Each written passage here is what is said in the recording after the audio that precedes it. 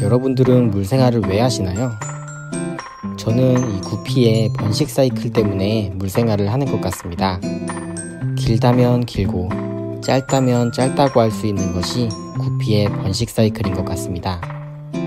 정말 신선하고 소중한 과정들이죠. 물 생활하면서 느낄 수 있는 희열, 행복감, 감사, 슬픔, 모든 감정들이 이 번식과 성장에 다 담겨 있는 것 같습니다. 소중한 생명을 집으로 들여먹이고 돌보며 아이들의 일생을 지켜볼 수 있다는 것. 그것이 우리가 물생활을 하는 이유가 아닐까요?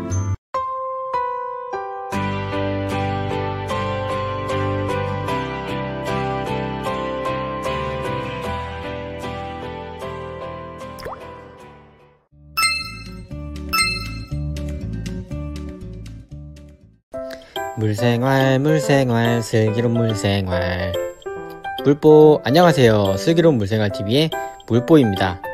여러분 혹시 루티노 모스코 블랙이라는 열대어 아시나요? 구피의 한 종류인데요. 지극히 개인적인 제 의견으로는 오팔보다 이쁘다고 생각되는 녀석들인데 지금 화면에 보이는 녀석들입니다. 루티노 최고의 매력은 한 번에 여러 가지 색깔을 볼 수 있다는 것인데요. 핑크빛, 노란빛, 푸른빛 등 다양한 색이 몸에서 나옵니다. 모르시는 분들이 있을까봐 말씀드리자면 루티노와 알비노의 차이점은 알비노 구피는 눈이 빨갛지만 루티노는 조명에 따라 검은색에서 와인색으로 보인다는 점입니다. 이런 다양한 매력으로 저희 아내의 최애 구피로 등극한 녀석들이죠. 오늘은 이 녀석들의 반년간의 성장 과정을 보여드리려고 합니다. 그러기 위해서는 일단 이 녀석들과의 첫 만남으로 돌아가 봐야겠죠? 여러분 혹시 이 영상 기억하세요? 관심 없다더니 구피 40만원어치 산 아내를 고발합니다. 라는 영상인데 많은 분들의 최애 영상이 된 편이죠. 이때 40만원 중 8만원이 루티노 모스코 블랙 구피였습니다. 4쌍을 받아왔었죠. 이때가 이 녀석들과의 첫 만남이었네요. 제 기억으로는 이때 와이프가 루티노 모스코 블랙에 반해서 본인이 직접 관리하겠다고 데려왔던 것 같아요. 그리고 이 여왕은 루티노 모스코 블랙.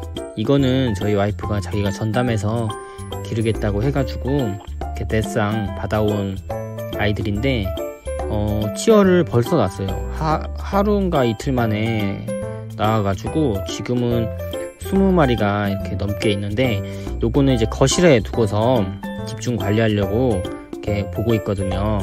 그래서 원래 와이프가 자기가 직접 관리하겠다고 했는데 지금 제가 극진히 보살핀 덕분에 벌써 치어를 이렇게 많이 낳았고 지금까지 환수를 한 번도 안 했어요. 그러고 그러고 아니 그 어차피 저는 집에 집사가 있는데 환수하는 집사가 따로 있어가지고 저는 관상만 하면 됩니다. 네, 티어들 보, 이시나요 지금 보면 달팽이가 주인공 같지만 바닥에 자세히 보시면 움직이지 않는 이렇게 치어들이 있어요. 처음 받아보는 루티노 모스코 블랙 치어에 흥분해서 사장님께 카톡으로 자랑도 했었던 기억이 납니다. 무엇보다도 흥분한 건 아내였습니다. 그래서 하루 세 번씩 브라인을 끓이기 시작했습니다. 물 생활에 관심 없던 아내가 처음으로 흥미를 가지기 시작한 계기가 이 녀석들이었던 것 같습니다. 아이들이 태어난 지 일주일이 지났습니다. 이제 제법 살도 오르고 확실히 큰 애들은 가력이 도드라지게 나타나고 있습니다. 이제 이 좁은 어항을 떠나서 별도의 치어항으로 옮겨줄 때가 된 것 같습니다. 그동안은 위에 루바망 안에서 부모님들이 먹다 남긴 사료나 또는 그라인들을 먹어왔는데 본격적인 브리딩을 위해 치어항으로 옮겨줍니다. 아이들이 태어난 지 약 2주가 지났습니다. 엄청난 성장 속도죠. 치어에게 브라인을 하루 3번씩 주니까 이렇게 되었습니다. 지금 보시는 것처럼 브라인 샤워를 엄청나게 해줬거든요. 브라인 샤워의 쾌감은 물생활 3대 쾌감 중 하나인 것 같습니다. 그리고 이렇게 브라인 샤워를 매일 해주는 대신에 환수도 매일매일 해줬습니다. 아이들이 태어난 지 한 달이 되었습니다. 이제 제법 발색도 나오고 어른의 모습을 갖췄습니다. 조금만 지나면 번식까지 할 만한 덩치입니다. 역시 구피는 어릴 때 잘 먹는 게 중요합니다. 어릴 때 잘 먹으면 부모 개체가 별로 안 좋아도 잘 크거든요. 저도 어릴 때부터 잘 먹을 걸 그랬나봐요. 히카리로 드리블링을 하는 게 손흥민의 요즘 모습을 보는 것 같습니다. 아주 힘차게 잘 몰고 다니죠. 중간에 아주 작은 녀석들은 2차로 태어난 녀석들입니다.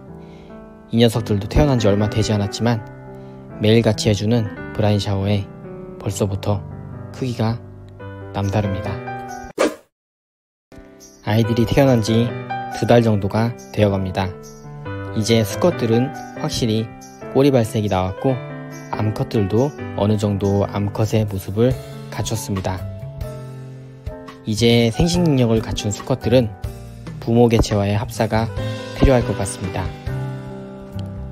수컷 부모 개체들의 핀이 너무 커져서 생식 능력이 많이 떨어졌기 때문입니다. 지금 보이시는 이 수컷들을 위주로 부모 개체와 합사를 시도해 보겠습니다. 수컷들 중 굉장히 뛰어나 보이는 녀석들을 골라서 부모 개체와 합사를 했습니다. 피시팜 사장님이 조언해 주신 건데 젊은 수컷과 어느 정도 나이가 든 암컷을 크로싱 해주면 개체가 잘 나온다고 합니다. 역시나 훗날 이 녀석들은 새끼들을 엄청나게 쏟아내게 됩니다.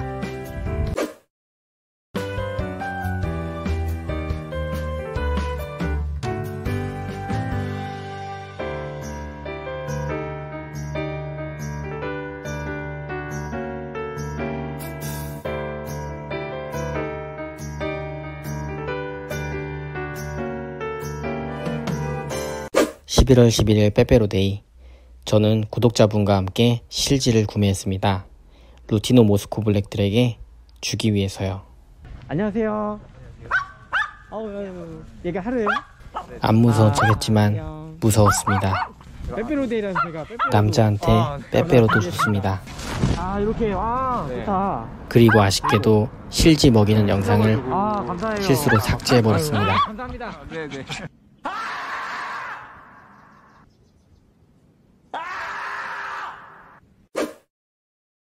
열네 치어들이 태어난 지 세 달 만에 14마리요? 또 다른 치어를 낳았습니다. 치어가 근데 치어를 낳은 것입니다. 어, 이제부터는 진짜 안 잡히는데.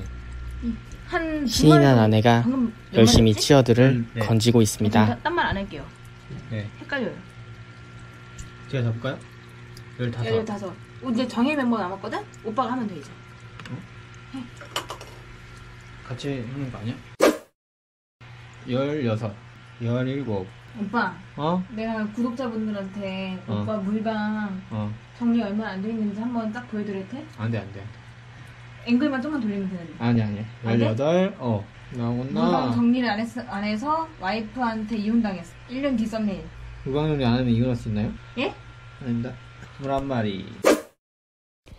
그리고 현재의 모습입니다.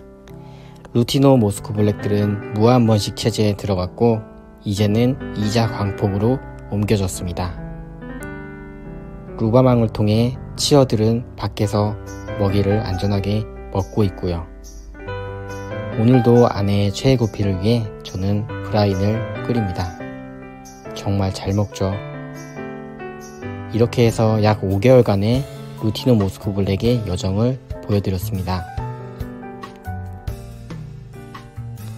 여러분들의 물 생활의 이유, 슬기로운 물생활 TV를 통해 많은 분들에게 알려주세요. 24시간 여러분들의 물생활 제보를 기다립니다.